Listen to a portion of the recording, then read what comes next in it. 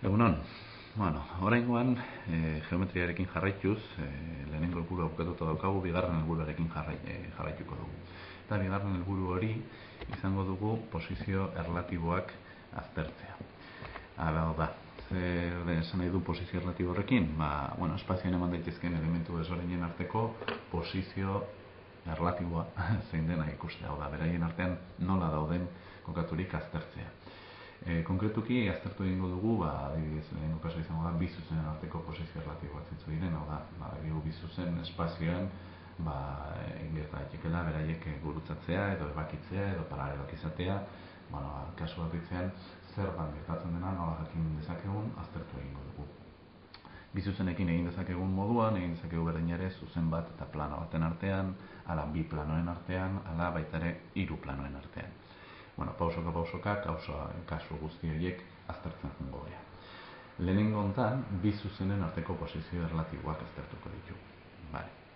Bueno, orduan, demagun bi zuzen ditugula. Ematen dizkigute bi zuzen. Kasu hontan R zuzena eta S zuzena. Bueno, bilak e, edo, no, edo zein modutan ematen digutelare, gu saiatuko gara beti ekuazio parametrikotara pasatzen. Behar duguna izango da zuzen horien ekuazio parametrikoak, lehenengo puntua. Ondo, behin ekuazio parametrikoa dauzkagula, e, bi zuzen horiekin onako matrizea osatuko dugu, hemen edituko duguna. Hmm? Non lehenengo zutabean jarriko dugun R zuzenaren vektoria, VX, VY, VZ. Vale? Bigarrengo zutabean jarriko dugun S zuzenaren vektoria, kasu hontan WX, WY, WZ izendatu duguna. Eta hirugarren zutabean jarriko duguna da bi puntuen arteko kenketa. Hala, bakizue, zuzen bat eh, ematen digutenean ekuazio parametrikoan ikusi ezakegula gutxienez puntu bat zuzen horretako. Ez da, kasu honetan ABC adierazten duena, eta kasu honetan A', B', C' arekin adierazita dagoena. Bueno, ba, irugarren zutabe honetan jarriko duguna da A', ken A, B', ken B, eta C', ken C. Hala, puntuen arteko kenketa hori. Behin matrizia horrela osaten, osatuta daukagula, kontutan hartuko dugu matrize horren e, einak, koefiziente matriziaren eta matrize zabaldoren einak zeintzu diren. Hau da, aurreko gaian jokatu izan genuen bezala, e, ekuazio linealekin hemen ere jokatuko dugu. Eta segun eta e, ekuazio horiek bateragarriak diren eta bateragarri zehatzak lan determinatuak diren, horren esanai geometrikoa aztertu egingo dugu. Adibidez, demagun, e, matrize hau osatuta, kontutan izan hemen kasu honetan dauzkagula bi ez ezagun, bai?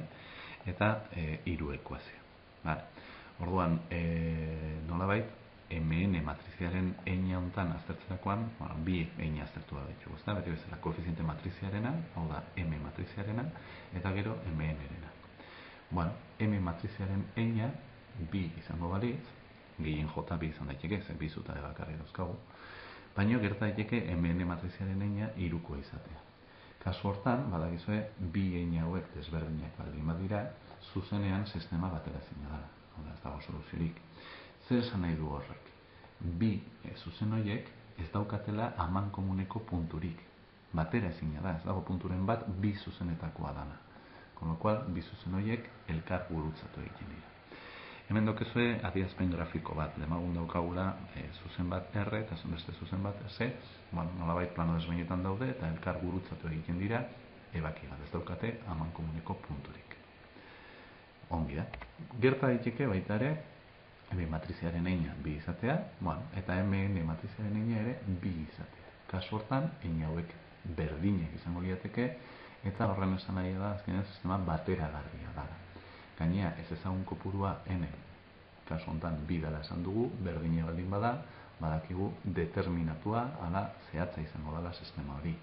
Hau da, soluzio bakar bat dago. Mogoratu sistema batera garri determinatua esaten nuenean, soluzio bakar bat zegoela esan nahi zuela. Zer esan nahi horrek, gure kasuan, ba, puntu bakar batetan, e, gurutza, elka, ebaki barkatu egiten direla bizuzenak. Hau da, puntu bat daukatela aman komunean, eta bakarrik bat. Hau da, zuzen ebaki egiten dira. Bueno, irudian ikusi ezakegunez, puntu hortan ebaki ingo liateke gure bi zuzenak. Baina gauza gehiago gerta daitezke. magun, M matriziaren eina bat dela eta MN matriziaren eina bi dela. Bueno, kasu hortan, desberdinak dira. Einak eta ondorioz batera ezina da. Hemen ere e, gure sistema.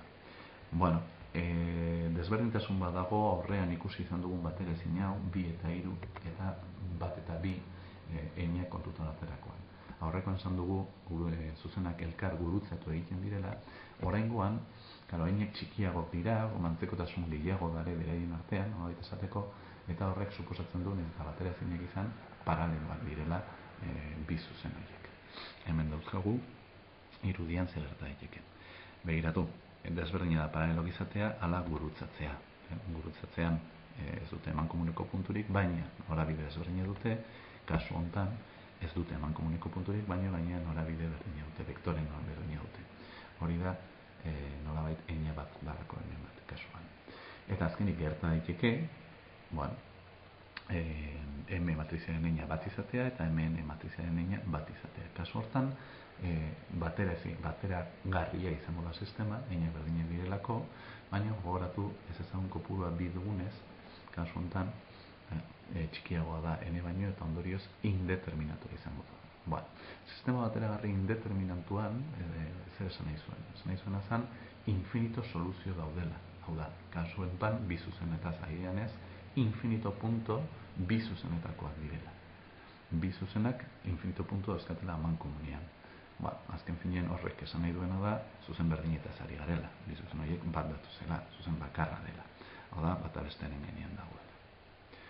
Bueno, ikusten zuen bezala, e, segun ze azterketa egiten dugun e, segun ze zuzenak ematen diguten azterketa egiten dugunean eina bat edo beste agertuko zego eta horren arabera jakin dezakegu ze gertatzen ari den bi zuzenien artean hau da, zeintzu diren beraien posizio relatiboak adibideren batekin, gero ariketetan e, ikusi izan ahal izango ez argiago agian nola egiten den?